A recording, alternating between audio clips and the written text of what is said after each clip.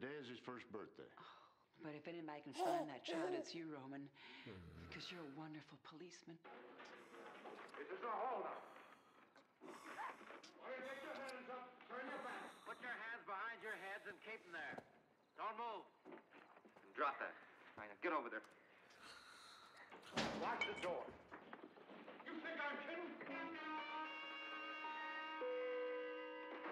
Now. I said no. Again!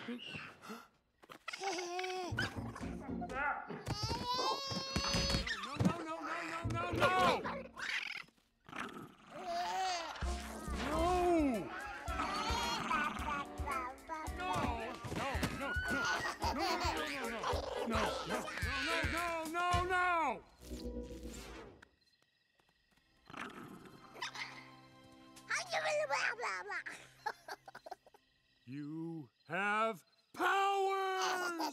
Yeah, baby! And there's not a scratch on you! Did you go through the locked door? Are those your powers? Ha ha! Who can multiply like rabbits and go right through any solid.